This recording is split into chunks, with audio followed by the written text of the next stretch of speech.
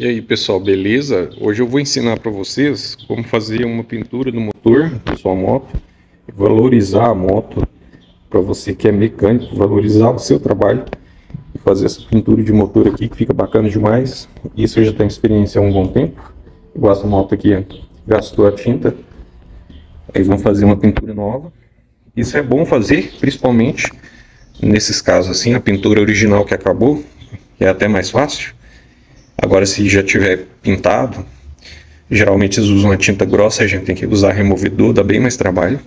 Nesse caso aqui, dessa moto aqui, é uma Titan 2001, eu vou estar tá fazendo simplesmente desmontagem para fazer a pintura, que o motor da moto não tem defeito nenhum, mas a gente quer deixar ele novinho por fora também. É, então vou ensinar para vocês aqui como faz a pintura, acompanhe o vídeo. É, eu agradeço muito a quem deixar o like no vídeo, vai ajudar bastante, tá? O vídeo a desenvolver. E para começar, como passo a passo de pintura hoje, eu não vou mostrar montagem, desmontagem. Eu vou mostrar como que faz procedimentos, processos para pintar as tampas do motor. As tampas são pintadas de fábrica. Essa daqui, essa, essa tampinha de cima. Já dei uma lavada no motor para ele ficar mais bacana aí quando terminar, porque ele estava muito encardido, muito sujo. Vocês uma noção como é que ele tava? Tava igualzinho tá embaixo aí. Mas eu tinha que esfregar bastante para melhorar. Aí eu vou pintar essa tampa aqui também.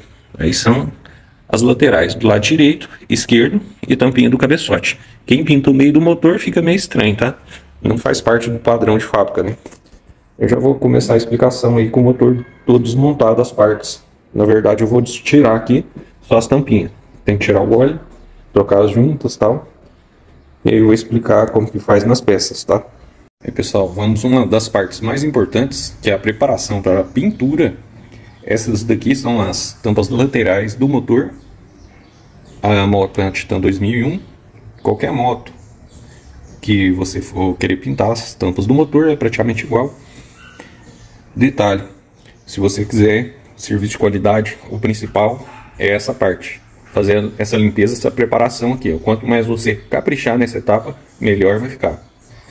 Então, como sempre, né, esses motorzinhos que tá aparecendo pra gente aqui, tá aquela sujeira de sempre. Aí, primeiro de tudo, você limpa por dentro para não ficar contaminando por fora. Ó, tá um pouquinho assim, pouquinho, pouquinho sujo ainda, mas vocês não acreditam tanto que estava sujo antes, né? Tava terrível. É, com todos os recursos de limpeza, consegui deixar desse jeito aqui. Mas dá uma olhadinha aqui pra vocês terem só uma noção. Estou falando de uma sujeira desse grau aí, ó. Assim eu já passei gasolina. Mas aí, né, o acordo ainda não é de limpeza do motor completo, porque eu teria que desmontar, né, e ia ficar caro. Então, ficamos só por fazer a pintura mesmo. Mas é nesse nível aí de sujeira. Aí, é o seguinte, vocês limpam o máximo possível, por dentro também para não ficar contaminando, que às vezes você pega a peça. E outra coisa, depois que você lavou, não fica pondo a mão não. Por mais que a mão esteja limpa, o suor da sua mão contamina a peça. É a gordura que você passa do seu dedo pega na peça, não pode. Aí é o seguinte, é, para começar, eu tiro os arranhões mais profundos, eu recomendo você fazer isso. Então, para isso, eu utilizo uma lixa mais grossa. Essa daqui é uma lixa de 100, 80, bem grossa. Aí você lixa a parte que tiver mais arranhão mais fundo. Depois você tem que passar uma lixa um pouco mais fina para tirar os arranhões da lixa grossa. Isso aqui depende muito é o que você quiser fazer com capricho, né? Eu estou recomendando aqui para quem tiver interessado em fazer o serviço. Quanto mais você lixar com a lixa fininha, vai ficar mais espelhadinha a pintura no final. A tinta vai acompanhar o relevo que você fizer aqui, se tiver muito riscado, ela vai acompanhar. Então assim, ela cobre alguma imperfeição, mas muito fininha.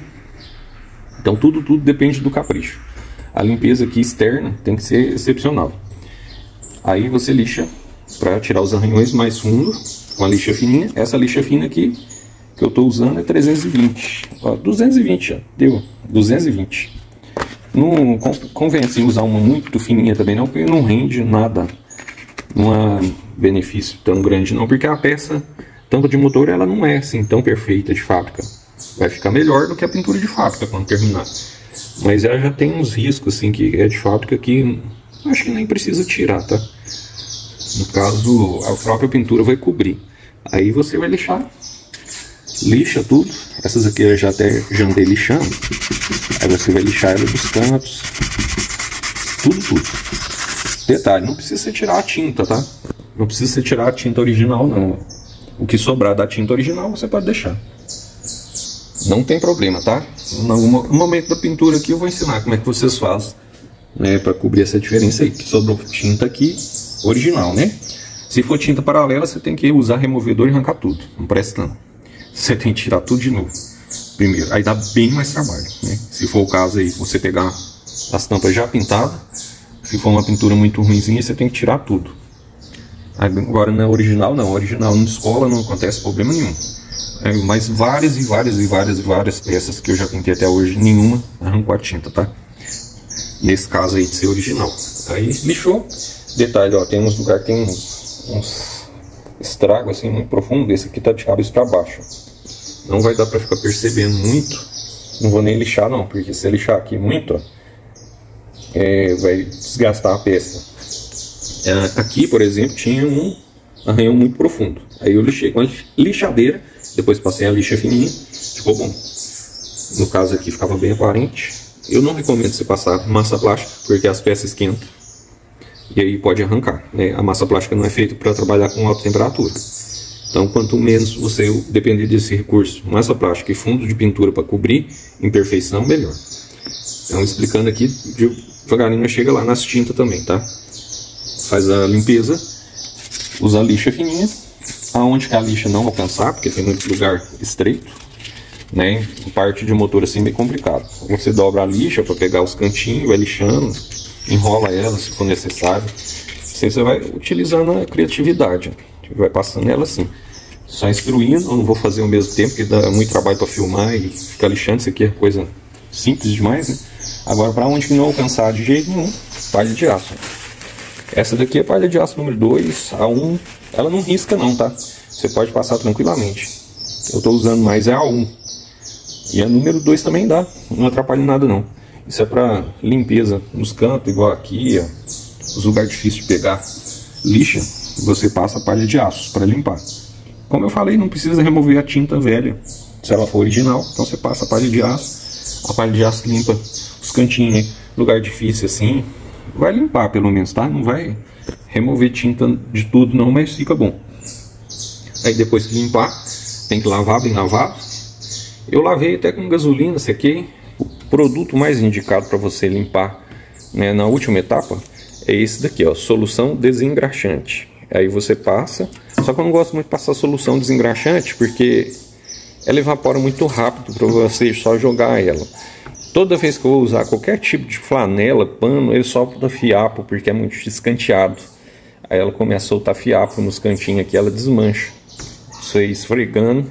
E aí fica muito cheio de fiapo. Quando eu vou pintar, aí aparece aqui é tanto de linha, eu não gostei não. É, pode ser, eu já tentei de tudo quanto é jeito, com guardanapo, com estopa, estopa é, não dá certo. A flanelinha anti-fiapo, qualquer coisa, não funcionou bem para passar desengraxante, nesse caso assim, né, esfregando. Então preferi passar um desengraxante daquele tipo um detergente, lavar bem lavado. Aí você lava com thinner, alguma coisa assim, sem passar flanela nem nada. E depois seca bem sequinho. Aí já está pronto para jogar a pintura, jogar as tintas. Agora eu vou falar as tintas que eu vou gastar. Eu vou falar sobre as tintas e antes de fazer a pintura também a gente tem que isolar aqui os cabos que não for remover, né? E aí as tintas que eu vou precisar aqui para ficar um serviço bacana. Eu vou usar aqui uma tinta que eu sempre recomendo, que é o preto fosco vinílico, serve para qualquer ocasião. E vai ser o fundo de pintura. Isso é muito melhor que o Wash Prime, porque ele adere a qualquer superfície, ele serve como fundo, serve como tinta, serve como qualquer coisa e ele é preto. Eu acho ele bacana demais para mexer com qualquer pintura é o preto fosco vinílico. Ele é um Ash Prime também. Então, a melhor opção para qualquer ocasião, para quem usa pouco, principalmente, esse daqui, eu acho. Esse aqui é só para a gente dar um fundo de pintura naqueles lugares ali que ficou muito lixado, né? Que tirou a tinta completa. Fundo de pintura. E aí a gente pode escolher uma tinta. Eu quero no padrão original. A cor original que mais assemelha É pra vocês verem como que é importante, ó. Vou falar pra vocês. Aqui mais assemelha. Prata lunar fica muito bom. Esse aqui é o prata lunar. Fica muito bom no poliéster mesmo, que é o que você acha mais fácil, metálico. E tem uma tinta que você quiser ela mais clara um pouquinho, é o prata bari. Muito fácil de achar qualquer uma dessas duas aqui, loja de tinta automotiva você compra, tá? Na internet também tem. Você pode escolher a rodo, tem muito, muito dessas tintas. Prata bari, prata lunar. Eu vou pintar esses aqui com prata bari, que eu quero mais clarinho mais puxado para o lado do original mesmo, tá? E depois a gente usa um verniz. O verniz que eu acho que é o mais forte, esse daqui, ó, 39, 37, altos sólidos, que é um verniz que resiste muito à temperatura. Essa tinta também é bem resistente. O Arch Primer preto fosco nem se fala, pode pintar até escapamento da moto. Tudo aqui é um kit de componentes só alta resistência. E um thinner para dissolver um pouquinho o solvente, tá? Diluir, né? Aliás, diluir o solvente um pouco, diluir o thinner, uh, diluir o verniz, porque o verniz é. Eu gosto de trabalhar com ele mais ralinho, eu acho ele melhor, mais rápido. Até que nem precisa muito não, mas eu uso o thinner no verniz, só no verniz. A tinta precisa não. Eu vou a aplicação, tá? Indicar a aplicação. Bora misturar as tintas. Primeiro o wash prime, preto fosco vinílico. Vocês podem reparar o barulhinho da chuva. Antigamente tinha muito esse mito de que não podia fazer pintura na chuva, ou quer dizer, né, no tempo de chuva, mas não atrapalha nada, desde que o objeto que você esteja pintando não esteja molhado, não vai interferir em nada, porque as tintas hoje em dia são muito boas, secagem muito rápida, não tem problema nenhum. Outra coisa também que eu nem tirei o retentor da tampa da embreagem, não tem problema não, tá? Deixei isso aqui, eu deixei a alavanquinha da embreagem também, porque eu nem vou trocar o retentor, e eu queria pintar ela também junto, porque nós não vamos zincar a peça, que seria o certo, aí eu deixei ela aqui. Então vocês vão estranhar isso aí, o restante eu já levei para mesa de pintura. Chuva muito bem-vinda, né? Acabar um pouco do calor. Aí vamos diluir aqui, ó. Duas partes por um, é o que está escrito aqui na latinha desse aqui, Wash Prime. Esse é bom demais, né? Serve para qualquer coisa. Vou gastar muito pouca quantidade dele e ele não rende tanto, mas é de usar só uma poeirinha, né? Coloquei mais um pouquinho aqui porque a pontinha saiu, não saiu cheia. E agora tem que colocar o diluente. Esse é uma conta certinho. É, aqui na latinha vem, acho que é 600 ml e esse aqui é 300. Aí você vai dividindo, conforme eu faço aqui sempre coincidiu. Quando eu acabo com os produtos, ele acaba por igual. Aí misturou. Pode usar na hora, tá? Não tem muito segredo não. É bem ralinho, é pronto para uso. É só colocar na pistola de pintura e aplicar.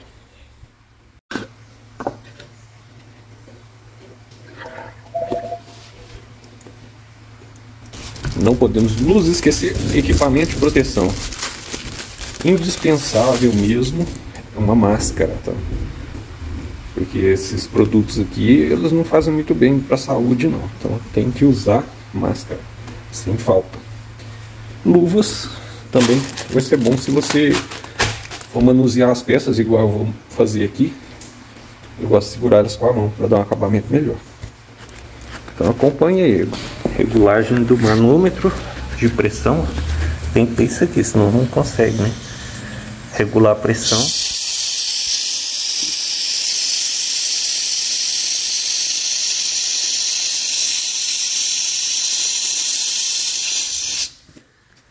Regulo ele com 40 quando o revólver de pressão está acionado, 40 libras.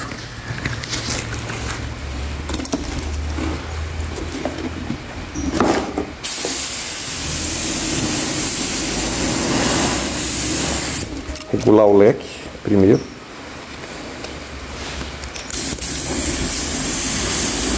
Quantidade de tinta bem pouquinho para não escorrer. Vamos lá. Como eu mencionei, o fundo é para usar aonde ficou só no alumínio. Onde que tem tinta nem precisa pegar. Vai pegar só um pouquinho.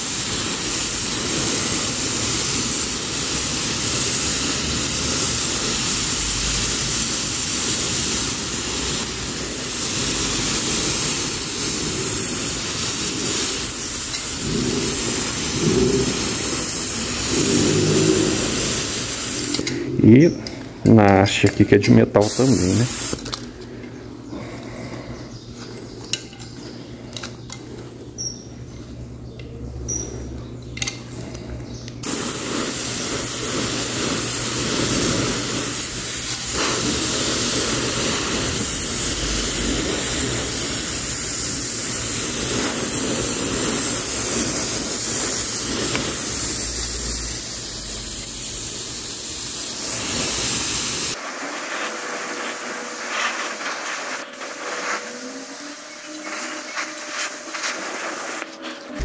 tampinha de válvula. Primeiro a gente vai pegar os lugares mais difíceis de a tinta pegar, canto.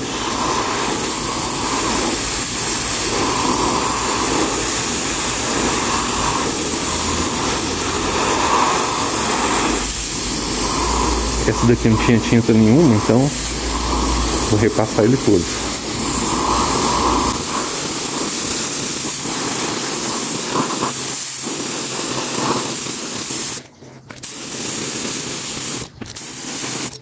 Bora lá, adiantando, mesmo processo com cada peça, onde que não tem tinta nenhuma, eu vou caprichar mais no fundo.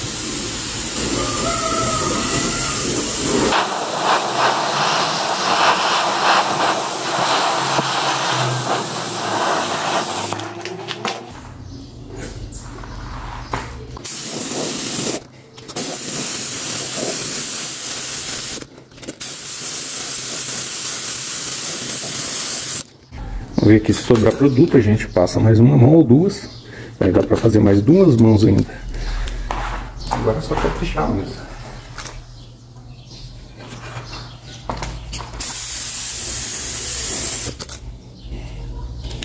Vou abrir o leque aqui, já que eu vou pegar a peça toda dessa vez. Eu só não expando muito o leque, não estou abrindo aqui a passagem de tinta. Pintar mais, jogar mais material.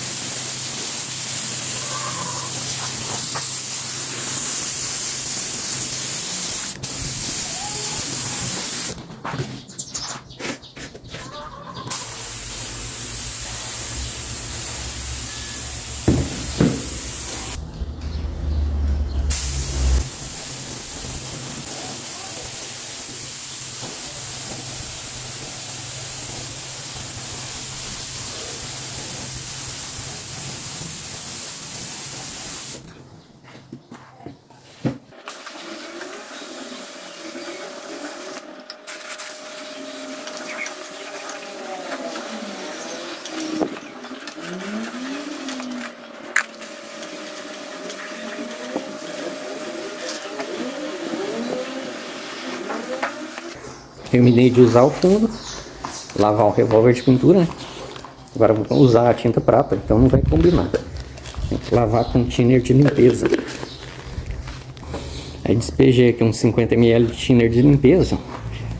Com o próprio uso do revólver de pintura a gente limpa ele. Para limpeza dele é muito simples. Você pode pôr um dedo na frente aqui, tampar, aí ele vai borbulhar ar aqui dentro e vai fazer a limpeza ali do copo.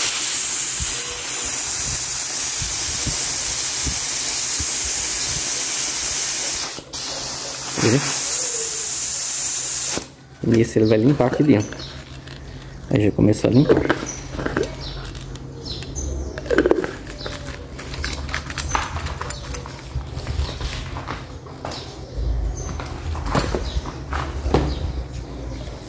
Aqui é necessário uma limpeza manual, tá? Essa parte aqui do copo.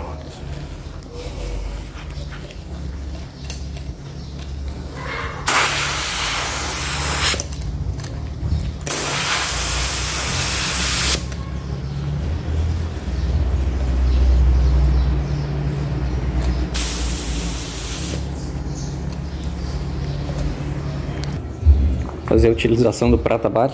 Que é isso, veio branco, tem que misturar, né? Aí, ó, no fundo tá prata. Então mistura bastante essa tinta. Elas ficam muito tempo estocadas, né? Ah, é muito clarinho o prata bari, é bem mais claro do que o prata lunar. Se você quiser fazer a pintura mais puxada o alumínio bem branquinha, é com essa aqui. Essa bem, é bem quase que um cromado. Muito transparente mesmo. Muito brilhante. Para misturar bastante, eu vou pegar as conchinhas. Acho que duas dessa aqui, pelo que eu usei, vai dar. Duas conchinhas dessa aqui, meia. Que eu usei aqui de fundo. Até pôs muito, não precisava nem jogar isso tudo. Mas é bom que fica mais caprichado.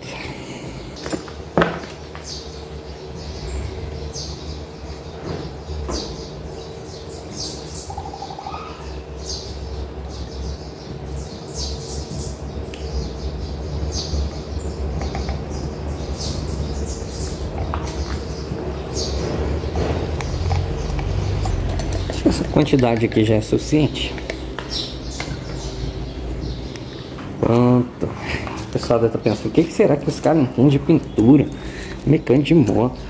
Eu já faço isso aqui desde quando eu aprendi a mexer com moto também. Que eu montei minha própria oficina, eu aprendi a mexer com pintura automotiva. para pintar essas pecinhas assim. Pequenas não depender de pagar pintor, né? Porque eles falam que demora demais, tem que esperar secar, fica caro e tal. Aí eu resolvi eu mesmo fazer. Mesma coisa, regular o LED. A primeira mão eu procuro sempre pegar os cantos das peças para aproveitar o máximo possível a tinta.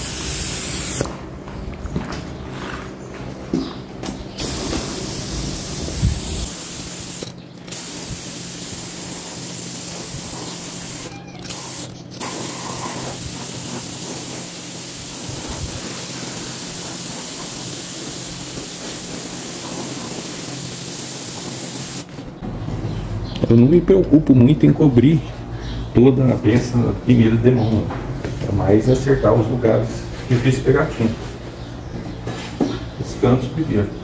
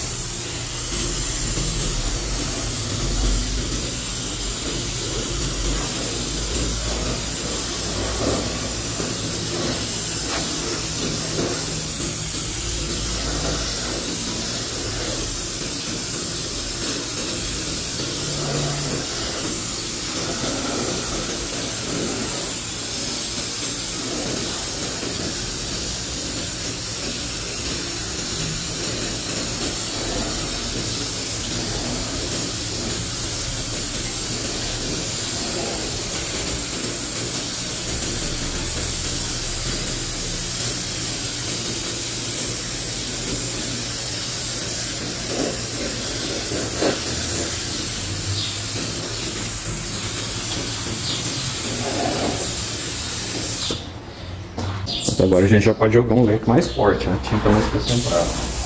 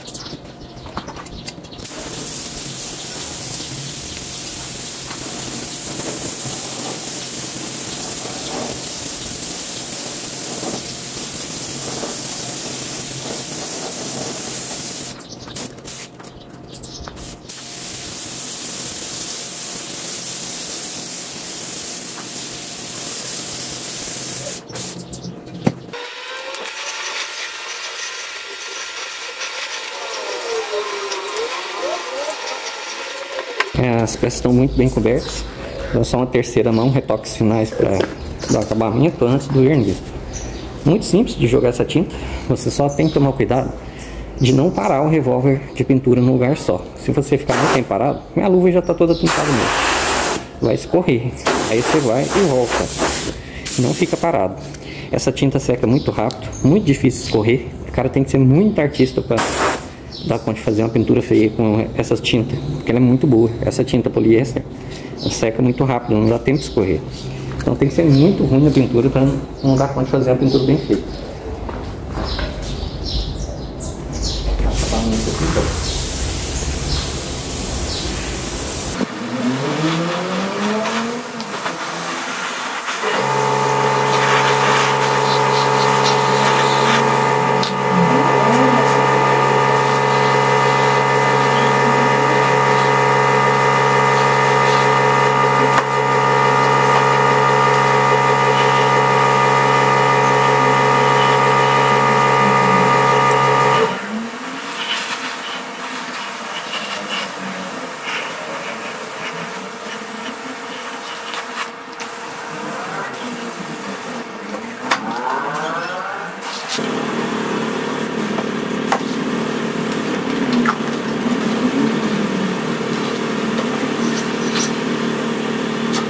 atendendo o cliente.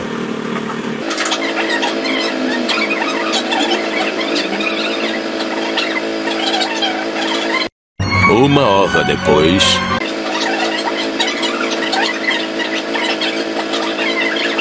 Duas horas depois. Três horas depois. Aguarde, por favor.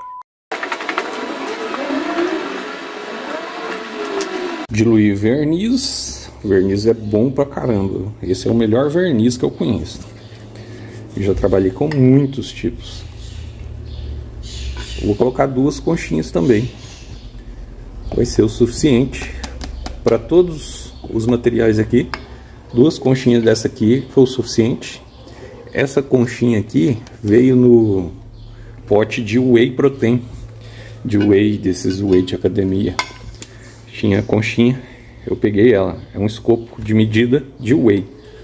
Muito bom para medir isso aqui. Eu prefiro do que ficar olhando esses números aqui no potinho. Acho bem mais prático. Além de você pegar a tinta aqui e não sujar o, uh, a latinha, é bem melhor.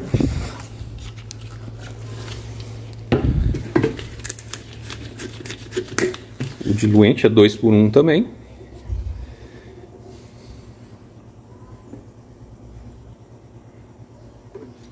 colocou uma, uma parte do endurecedor.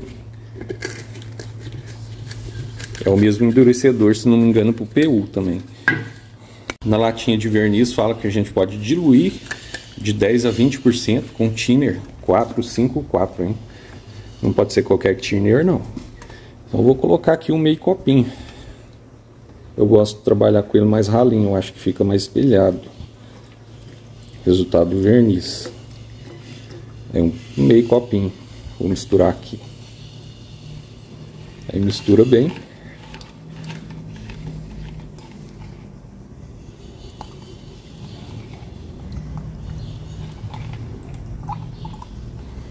E é só levar lá para pistola de pintura. Eu já limpei o revólver de pintura novamente para descartar a tinta que eu passei por último.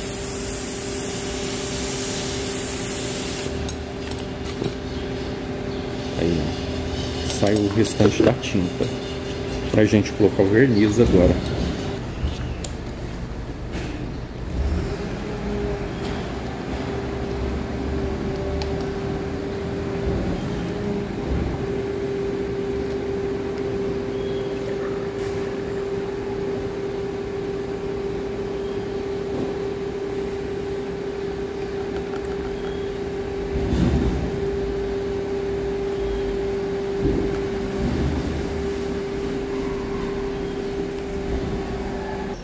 Vamos lá, essa agora é a última fase de pintura, aplicar o verniz.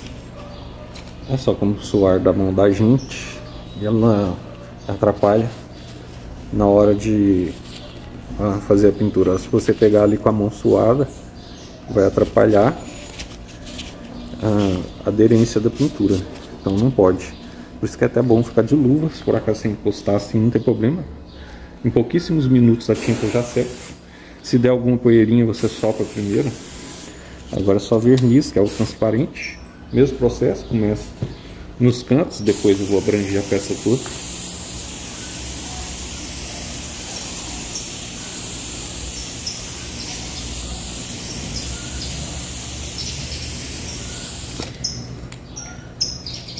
Tem que tomar mais cuidado, como o verniz é transparente, a gente às vezes não consegue ver direito. Então tem que tomar mais cuidado para não escorrer. E também seca um pouco mais lento.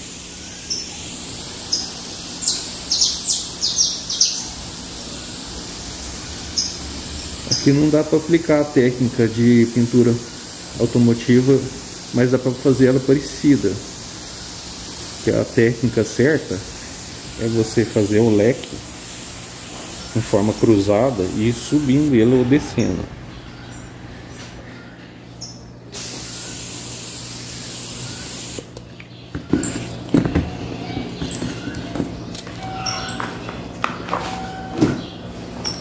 Mais cliente.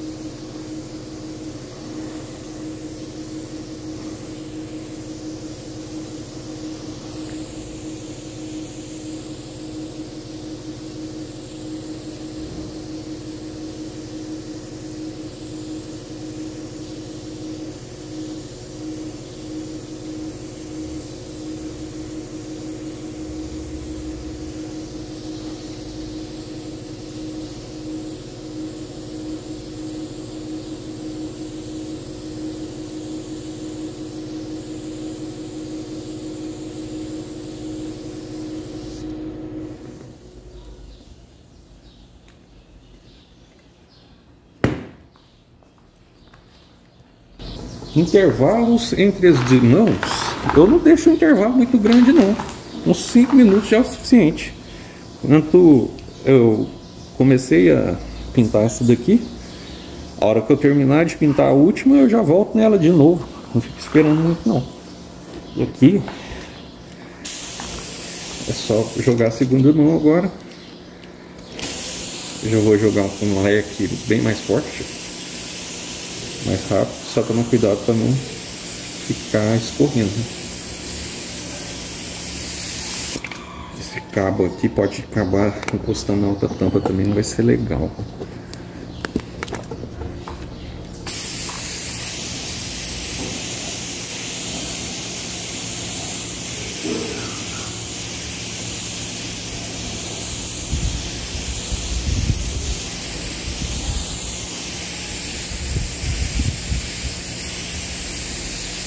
Puxa o brilho bem mesmo na peça.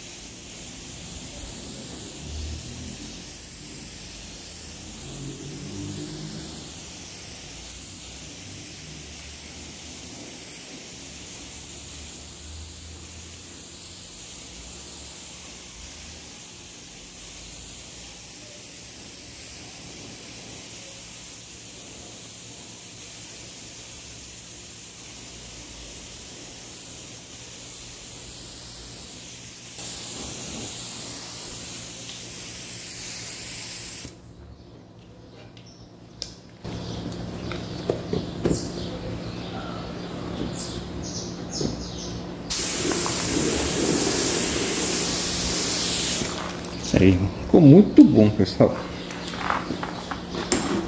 Pintura nova. Sobrou um pouquinho de verniz ainda, depois é só jogar a última, a última das últimas. Ó. Vai ser a última demão. Ficou bem brilhante. Todas as partes bem cobertinhas, vocês verem, ficou bem espelhado. Por isso que eu gosto do verniz assim, bem diluído. Parece que está polido. Você não precisa nem polir. Fica muito bom. Eu vou dar só mais uma mão, não vou nem filmar não, porque a bateria do aparelho já está acabando. Depois eu vou mostrar como é que vai ficar no final, né? Ele parafusado na moto, né? As peças todas prontas. Só vou mostrar uma imagem rápida né, das peças instaladas na moto, tá bom? Ainda mais uma mão para acabar com o verniz, sobrou bastante, muito verniz, mas ficou muito resistente, né? Isso aí vai durar muito tempo. Se a pessoa não esfolar as tampas, né, vai ficar bom pro resto da vida. tá aí, pessoal, a Titanzinha 2001, já com as tampas laterais do motor montado no lugar. Deu um trabalhão para achar parafusos zincados aqui, porque tava acabando, hein? Nas, nas, oficinas aqui já não tá tendo mais esses parafusos aí para repor. Mas aí eu coloquei, senão ia ficar muito feio, né? Os parafusos estavam tudo enferrujados. Aí ficou bom demais, ó. É só o brilho dessa pintura. Quando a gente joga o verniz assim, bem ralinho, ele fica muito espelhado. Fica bem espelhado, parece até que fez polimento. Mas depois que eu joguei o verniz, eu não fiz mais nada.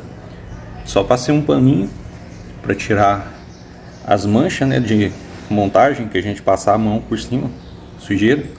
Ficou perfeito. Foi pintado aqui ó, essa tampa, a tampinha de válvula, as duas tampinhas aqui do lado do magneto. Essa daqui e a tampa do pinhão. Aí, quem gostou aí do resultado final, deixa seu like Aproveita para já ir se inscrevendo no canal se você ainda não é inscrito.